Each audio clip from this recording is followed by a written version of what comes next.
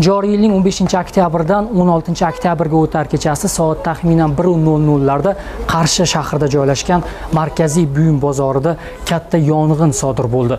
Yong'in oqibatida bozorda joylashgan taxminan 30 ga yaqin savdo do'konlari yonib ketgani aytilmoqda. Ma'lum bo'lishicha bu savdo do'konlarida tadbirkorlar ijara asosida faoliyat ko'rsatishgan va ular ayni paytga kelib barcha mol mulklaridan ayrilishdi.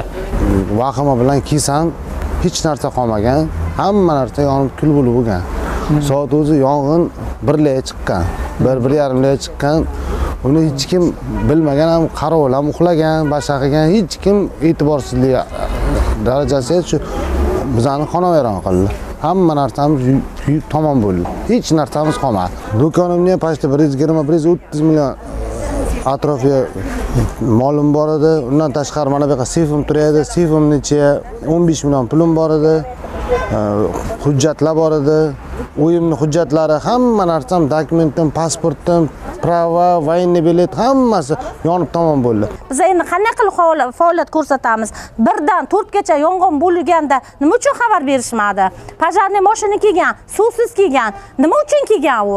Qanday ahvolga kelgan nima uchun xalqda hech kim eshitmaydi? Bundan bo'lmas bundan bu nechta o'ttiz ikkita yigirma oltita do'kon yonibdi birdan to'rtgacha nima uchun hech kim xabar bermaydi? Bozorni xavfsizligiga qarovul javob berishi kerak. Oltita qarovul bor deyapti lekin hech kim telefon qilmagan. Telefon qilgan taqdirda bizni hech kimsa jonimizni molimizni asrab qolgan bo'lardikku. Qalin qalin temirlar ham erib oqqan. Qalin qalin nimalar? Buni moshina nima uchun nima eritolmaydi hamma narsam yonib ketdi. Do'kondagi hamma narsa.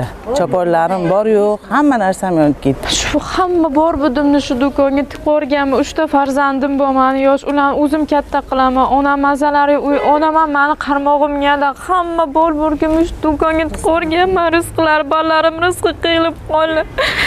U yashab turgan uyim kreditga hamma narsam qarzga olib tiqqandim endi nima qilaman? Hech kim tinglamayapti. Kim mani eshitadi?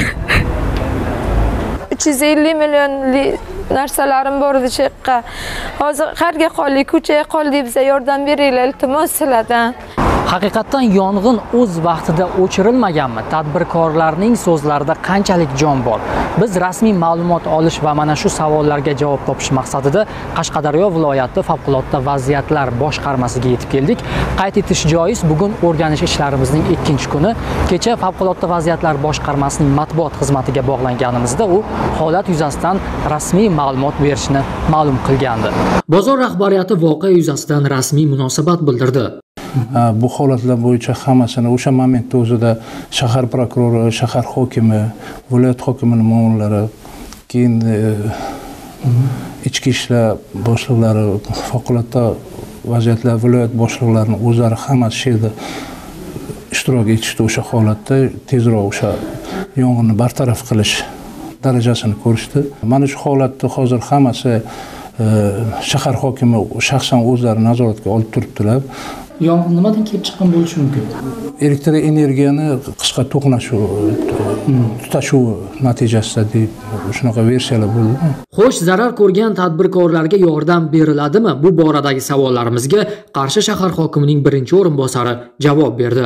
Hozirgi kunda endi bizga murojaat qilishgan tadbirkorlar ayrimlari kredit masalasida yordam qilishdi. Ularni bank bilan birga gaplashib nima deydi belgilangan tartibga kredit ajratish masalasi ko'rib chiqilyapti.